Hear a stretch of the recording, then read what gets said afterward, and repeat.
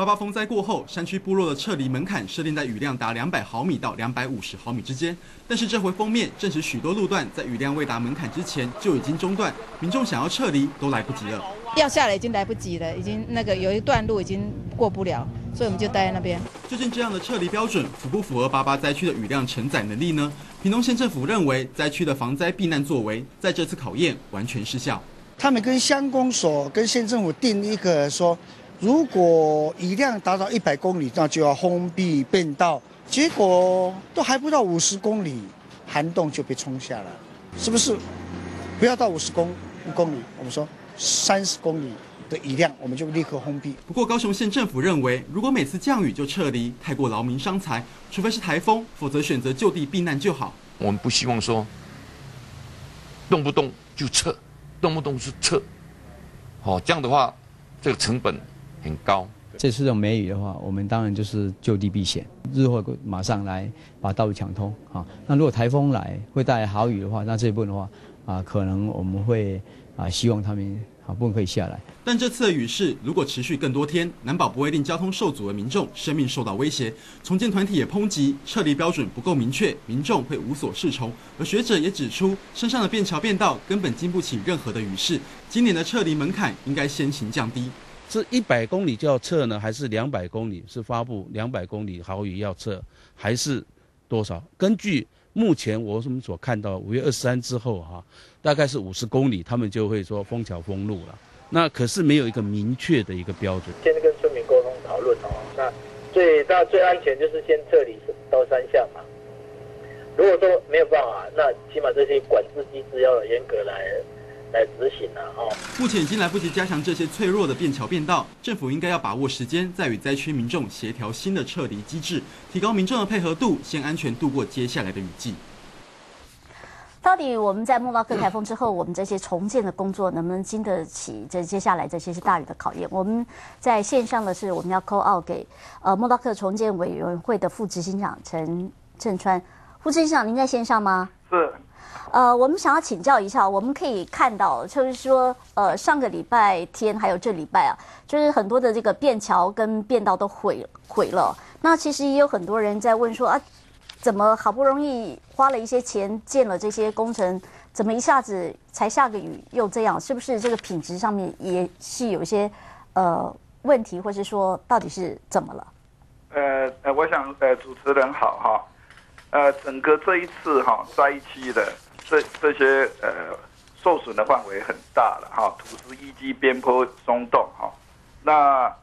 根本没有办法去从事这种永久式的桥梁的或者是道路的新建哈。但是为了这个居民的这个生活跟便利啊，当然要用便道跟便桥来作为呃临时的这个交通哈。那所谓便道便桥，它本来安全的规格。就比较低哈，那我们当然我们要做长垮、比较永久的桥梁，但是一座桥梁要做要一年到三年甚至四年的时间，但是我们面临的是这么短促的春那个那个呃梅雨哈，以及台风呃这方面的一个来临哈。那过去啊的做法就是一面做，然后一面坏，坏了又修，来不及，而且花了很多钱。那这一次莫拉克灾区土石这么不稳定哈。上面的土石堆积这么多，随时会随着豪雨冲下来啊！那边坡也一直在崩塌，没有一个工程师啊有办法在这样的环境下哈去做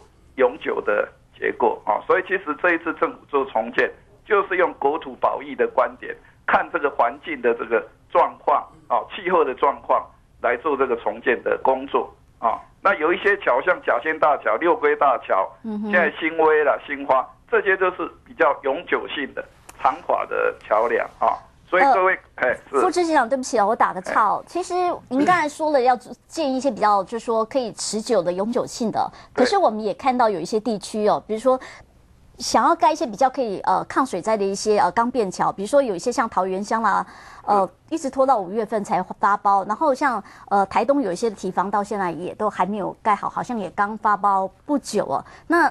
这段时间。嗯哼，时间是空转了还是怎么回事？因为您现在才发包，那当然是可能也赶不到今年的汛期吧。是这个有有一些哈提防道路要发包，其实特别预算十一月底才才通过哈。其实依据我们的管制哈，现在到四月底为止哈，中央的部分 它的执行力哈，预算执行力几乎百分之百，即若是补补助地方的哈，也执行力也到百分之九十七哈。但是当然，现在完成的花苞的完成以后的工作还是有限。但是你如果说太马里西两边的那个堤防哈，因为这个牵涉到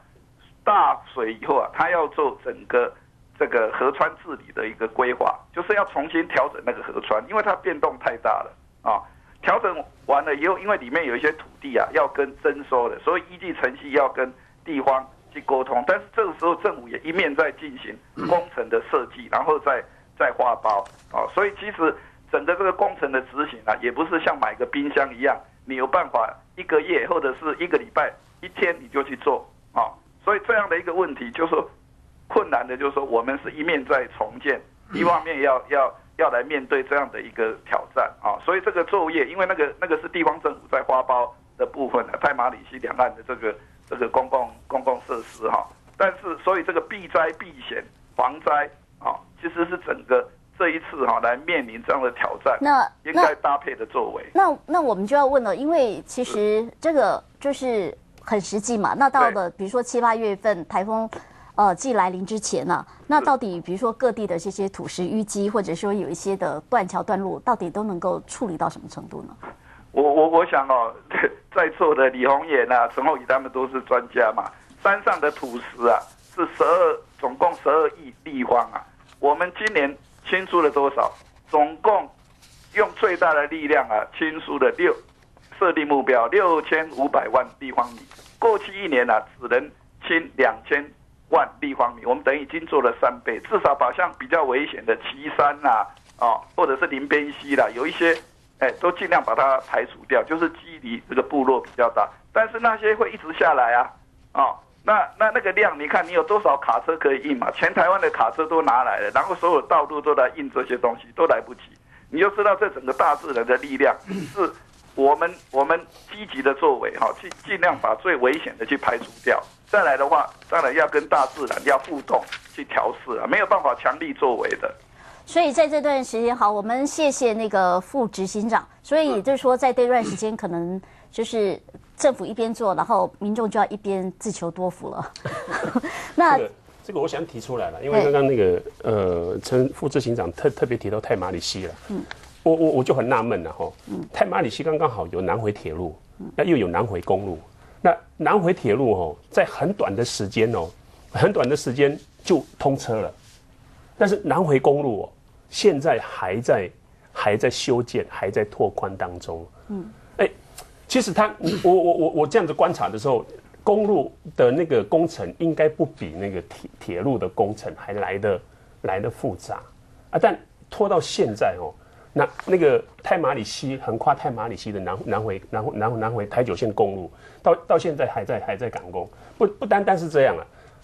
太马里西两岸的堤防，吼，那再来就是说，那那个太马里西原本是有三五百公顷的世家园的那些农民，现在他县政府都又迟迟不赶快去划边，哦划边，然后呃继继续让农民来耕作，那他又把堤防外扩到。五五五十米的那个那个那个范围里面，又又强制了征收过去有在耕在呃耕作世家园的这些农民的土地，那造成这些的农民到现在都都还不知道说，他们不单单没有工作，不呃而且也影响到他们的生计。那现在他们又要不断的去向县政府陈情，又要向县政府去去去赶快划划划定他们应该可以耕作的土地。到现在，呃这些。一直迟迟到迟迟到现在都还没有一个很明确的一个一个一个答案。那泰马里西它是比较受呃国人瞩目的一个焦点，但还有金轮西提防都还不要讲说还没有开始动啦，上游上游的那些土方啊，上游的那些堤防都完完全没有去动，那一直在往南吼大溪，那一直在大武溪大大竹高溪这个地方，事实上。我我我们看的都都很难过，到底是到底什么时候原原乡部落的居民他在这个汛期期期间呢之前呢